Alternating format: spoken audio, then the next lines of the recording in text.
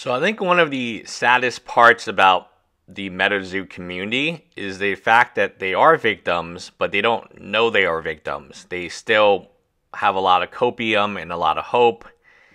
Imagine ordering $2,500 of product for a legacy set, and then instead of getting that product on time, you don't get the product at all, but they send you a letter. So maybe in the back of your mind, you have forgotten all about MetaZoo and you don't really want to deal with it. It's a terrible investment. You know, in my experience, I invested in ARK Invest. I just uh, totally ignore it. You know, when I just I'm I trained myself to like go right past it. I still own it because it's so cheap. Why not?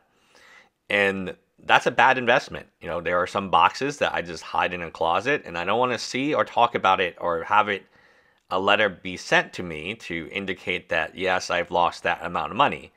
And that's MetaZoo in a nutshell. All these people who ordered pre-orders, and this has never happened. I don't think there's one card game that's done this, right? Where they have taken pre-order money and then bankrupt. I can't think of one card game that has done this. Uh, Inuyasha did not. Uh, they wrapped it up. Uh, Upper Deck did not. The original uh, Bandai Digimon did not because they don't take pre-orders. Your store can take a pre-order, but not the company themselves, right? I don't know. Magic the Gathering, they take pre-orders on Secret Lairs. Um, that kind of makes sense direct, right? Because they print the cards and they're a bigger company. But I've never seen a company that does take pre-orders bankrupt. And pre-orders are only something from the Kickstarter generation audience. So it's not something that was like in my when I was younger, you pay you buy you pay for what exists. You don't pay for somebody to, to hopefully make or not make the product that you want to buy at full on retail prices. Now, this is the Kickstarter generation. I'm never going to understand it. It's been explained to me many times. I'd much rather just buy a product that I know exists uh, from a store or from a distributor that I know will deliver. That's me. So instead of getting their products and their delivery, they get letters. And now their copium is, oh, we are going, I think they're pretty obvious. We're going to frame these letters up, and that's going to make back the value we put into a. Uh, no, nobody wants your bankruptcy letters, guys. The last thing they want is a bankruptcy letter from MetaZoo. That's not going to be sellable on eBay for a lot of money because they sent so many of them out. And I think at the end of the day, this is kind of the MetaZoo community. They are getting bank letters basically saying we're not going to deliver your product. And instead of being mad at MetaZoo, which they should be, they have every right. And this is something Nick talked about too. They have about uh, me saying like I've never said in whatever I said about management is correct. You have every right to be mad at them, but there's a lot of I don't I don't even know how to call them Timmys. I don't, I don't know what they are. You have every right to be mad at Argos and and Alpha Investment, who's deleted all these videos, by the way, including ones with Mike Waddell himself. You have every right to be mad at Mike Waddell and and the whole team, Andy and whoever else is over there, right? You have every right because they took something, they sold you a, a dream, they sold you a pre-order. Forget if this was a store and and they did all these pre-orders to you and instead of getting your pre-order you got a bankruptcy letter saying the store people would be ferociously mad. And do you know how i know that? Because there is a store like that. It's called clutch cards. They closed down and you can google them.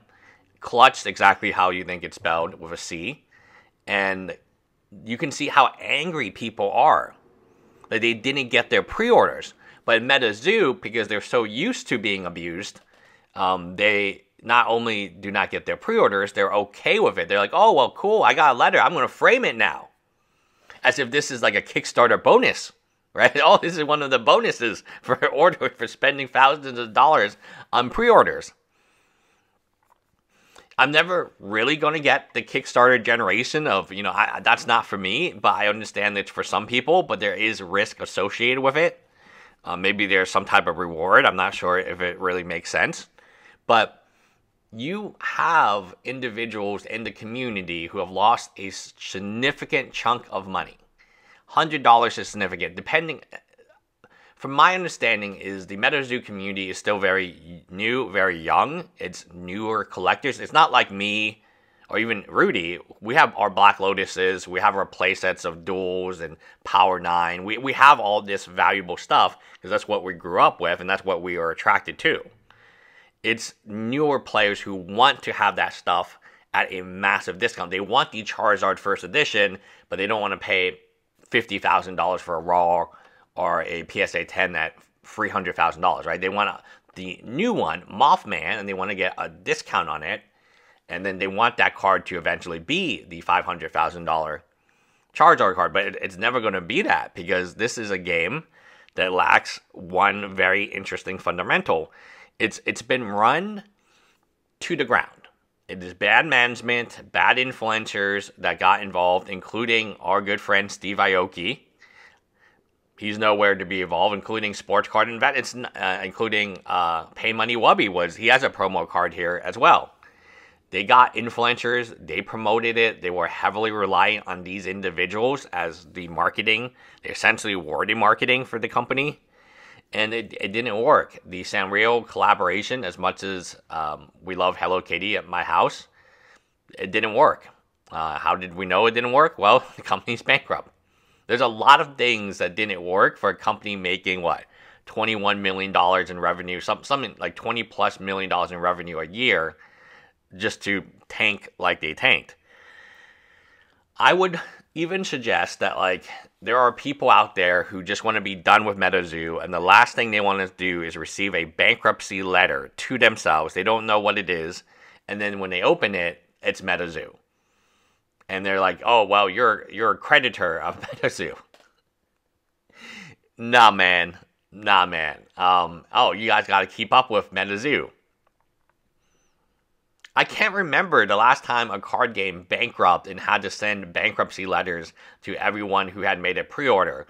Because back when I was younger, when these card games would go bankrupt, they wouldn't go bankrupt on pre-orders. So not only did they go bankrupt on the money they already had, the millions of dollars they made, they made they went bankrupt on your money without providing you anything for it. All you got was this letter, this bankruptcy letter, with the lawyer's uh, Pacer ID, Golfman, right? Was that worth the hundreds, if not thousands of dollars you put in that you will never get any product for? I'm very, very suspicious of people who always do kick. So MetaZoo did not one Kickstarter, two Kickstarters. Pika Trade, which also went bankrupt, they did the same thing. They did multiple Kickstarters. I think they did a GoFundMe as well. And when you have to continuously raise money this way, like at some point in time, like it's like where's the money going? Like why do you need to raise more money? You've already had your capital raise. What did you do with that? I, I think that's the question that everyone in MetaZoo wants to know. What happened to the money? And for the most part, bankruptcy court hasn't determined that yet. But the money went somewhere, right? I mean, they were making 20 plus million dollars in revenue a year. They had investors. They had they had a lot of collaborations. Um, where did the money go? Because it's surely the money surely didn't go to fulfilling pre-orders. I can tell you that much. Anyway, guys.